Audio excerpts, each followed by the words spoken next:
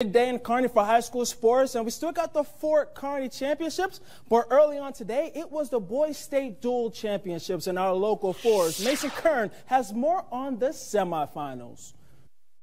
Welcome to state duals at the Buffalo County Fairgrounds in Kearney. We start in the semifinals and in Class A. Grand Island taking on Millard West, and at 150 pounds, Dane Aaron circles and gets the takedown. He earns a 12 0 major decision win for the Islanders. Now up at 285, Zachary Pittman goes to work for GI. He wins by fall, but Gish bows out of the title race in a 37 32 loss. In Class B, where nobody wants to face Husker commit Cade Ziola of Omaha Skutt. Lane right of Cozad gets the honors at 190. Ziola impresses though in a 25 to 9 tech fall. The Skyhawks win the duel 46 to 19. But the real state dual magic here in Kearney comes in the Class C semifinals where both matches come down to the wire, finishing in the last bout and on criteria. Minden and Battle Creek going to war at 144. Nick Kreikmeyer wrestles without hands for the Indians. Impressive stuff, but Parker Hatch handles business in a 16 4 major decision win